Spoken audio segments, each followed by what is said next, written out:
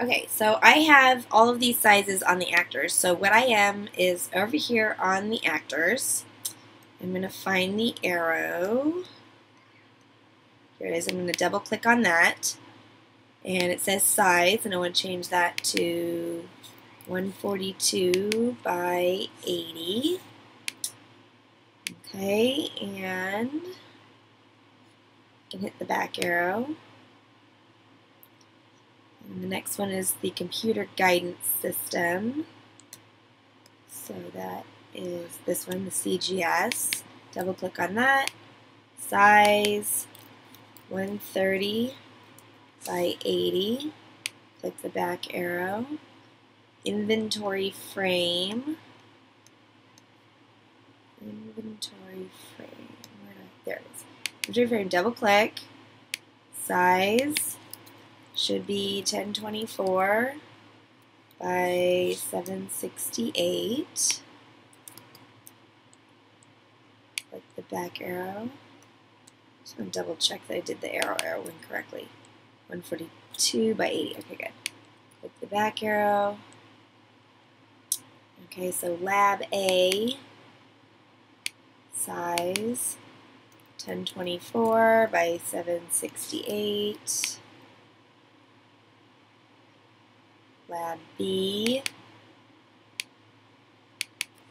1024 by 7, 6, oops, 68,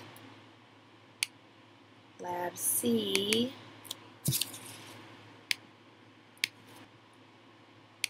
size 1024 by 768. Okay, I'm going to pause this and get the rest of these done according to the chart. Okay, panel size 35 by 95.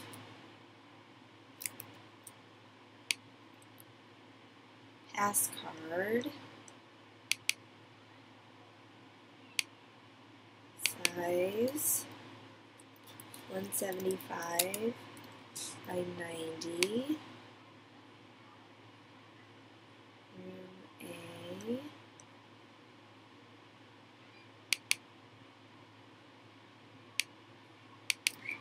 Ten twenty four by seven sixty. I'm to pause again and do a few more of these. So I set the screwdriver to 18 by 102. Then I want to find the tools or the selection. Oops you drag the tools to the selection and double click that. And its size is 305 by 220 and then Yuki Yuki double click 150 by 150 okay